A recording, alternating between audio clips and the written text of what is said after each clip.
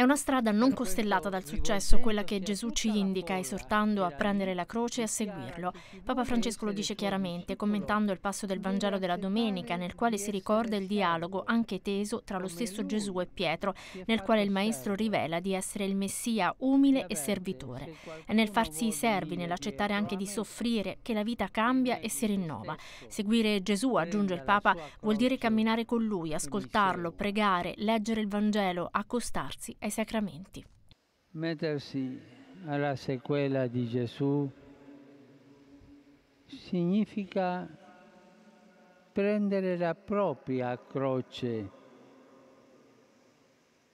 Tutti l'abbiamo, per accompagnarlo nel suo cammino. Un cammino scomodo, che no, non è quello del successo, della gloria passeggera, ma quello che conduce alla vera libertà, quella che ci libera dall'egoismo e dal peccato.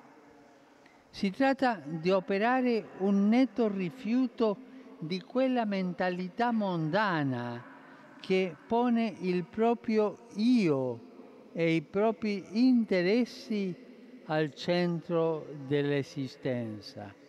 E no, quello non è quello che Gesù vuole di noi.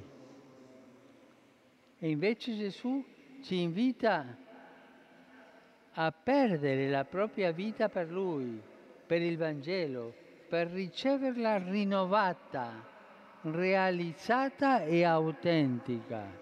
Al termine dell'Angelus il Papa ha ricordato la beatificazione in Sudafrica di Samuel Benedict Daswa, padre di famiglia ucciso nel 1990 per la sua fedeltà al Vangelo, una testimonianza simile a quella di tanti morti anche oggi in nome della fede. Salutando poi gli insegnanti precari venuti dalla Sardegna, ha auspicato che i problemi del mondo del lavoro siano affrontati tenendo conto della famiglia e delle sue esigenze.